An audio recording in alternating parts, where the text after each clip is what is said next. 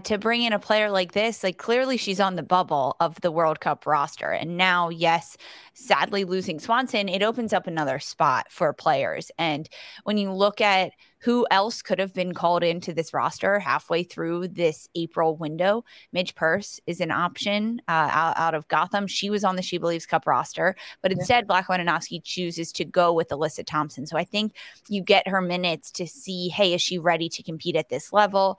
Um, I mean, yeah, there's there's plenty of different options there that Vlatko can go with, and yes, like there is, as you said, this program is a bit of a machine in which the way that they can churn out top level players, but do they have the experience? Do they have um, what it takes to score in these high pressure moments?